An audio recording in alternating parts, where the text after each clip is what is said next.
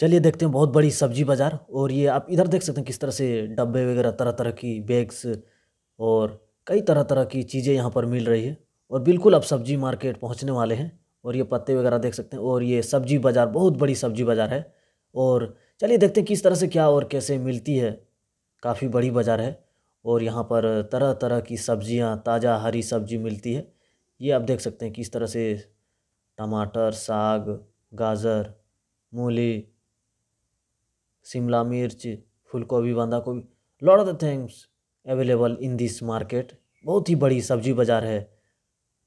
आप दोनों साइड देख सकते हैं किस तरह से सब्ज़ी बिक रही है और यह सब्ज़ी अधिकतर ऐसी सब्ज़ी है जो कि दूर दूर जो गाँव होती है, गाँव में लगाए जाते हैं और गाँव से ट्रांसपोर्टिंग होकर के बाज़ार में आती है और लोग ख़रीद कर यहाँ पर बेचते हैं।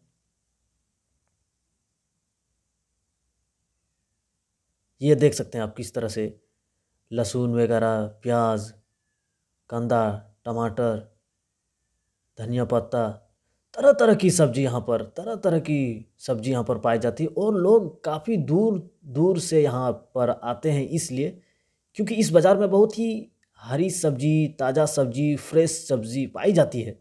बिल्कुल फ्रेश पाई जाती है। आप देख सकते हैं किस तरह से बिल्कुल ताज़ा ताज़ा सब्ज़ी यहाँ पर, ये देख सकते हैं। हरी हरी फूल गोभी बहुत ही बढ़िया और लोग आते हैं ताज़ा सब्ज़ी के लिए और इधर आलू देख सकते हैं। अभी बिल्कुल ठंडी के वक्त है और नया आलू आ चुकी है। You can say red tomato लाल आलू भी बोल सकते हैं। ये टोमाटो देख सकते हैं पोटाटो बहुत ही देख सकते हैं, लाल आलू आ चुकी है। अभी नई नई आलू आई है। और लोग काफ़ी चावपूर्वक, खुशीपूर्वक यहाँ पर ख़रीदते हैं, आते हैं और रेट बिल्कुल अच्छी होती है, बिल्कुल सही सटीक रेट होती है। ऐसा नहीं कि अगर ताज़ा है या फिर न्यू है तो आपसे ज़्यादा रेट ली जाएगी। नहीं नहीं नहीं, आपसे उतना ही रेट ली जाती है जितनी जीन्यून होती है।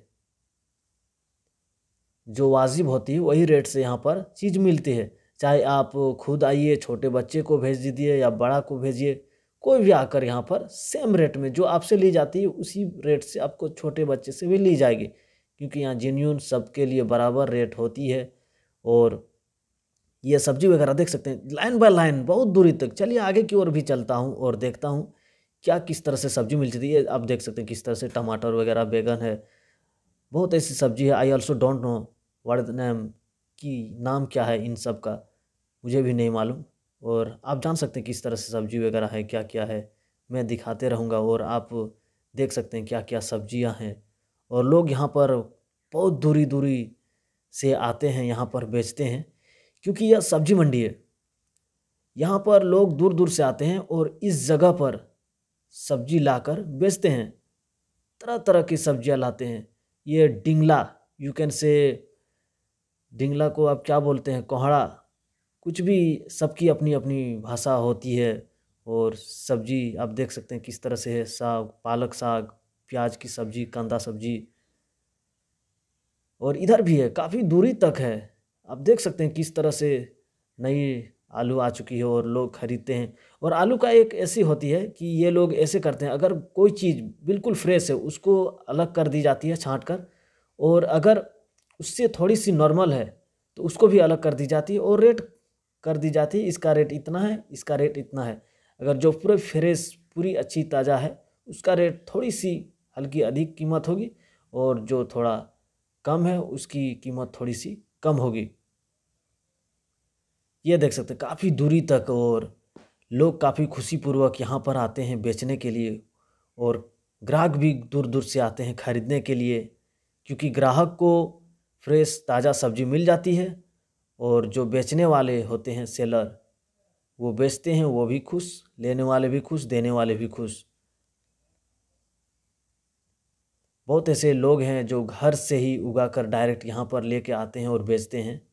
तरह तरह की सब्ज़ियाँ यहाँ पर लाते हैं, बेचते हैं और अच्छी इनकम हो जाती है, अच्छी हो जाती है। अभी बिल्कुल देख सकते हैं, अभी सब्ज़ी लगाना शुरू हुई है और लोग धीरे धीरे अब आने शुरू हो जाते हैं। शाम के वक्त में बहुत ही भीड़ होती है।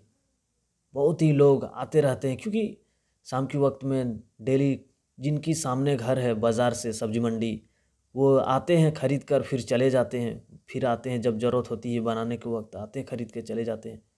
ऐसी होती है। और इधर अंडा भी मिलती है। ये अंडा आप देख सकते हैं इट इज़ नॉट पोल्ट्री की अंडा नहीं है। और ये जो बोलते हैं देहाती गाँव की जो मुर्गी होती है, उसकी अंडी यहाँ पर, उसकी अंडा यहाँ पर पाई जाती है और काफ़ी अच्छी कीमत पर पाई जाती है। बत्तख का भी अंडा यहाँ पर, कछुआ का भी अंडा मिलती है और देसी मुर्गी का भी अंडा यहाँ पर मिलती है। आप खरीद सकते हैं। ये काफ़ी बड़ी बाज़ार और बहुत ही बेहतरीन बाज़ार, शानदार बाज़ार, काफ़ी खुशनुमा बाज़ार। यहाँ पर लोग आराम से बेचते हैं, ग्राहक भी आराम से खुशीपूर्वक लेते हैं और काफ़ी अच्छी एक्सपीरियंस होती है इस बाज़ार की, क्योंकि यहाँ पर आने से ही आपको इतनी ताज़ा और इतनी अच्छी सब्ज़ी मिलती है। यू हैव टू बाय आप बोलिएगा कि मुझे ख़रीदना है। ठीक है take care thank you my dear friends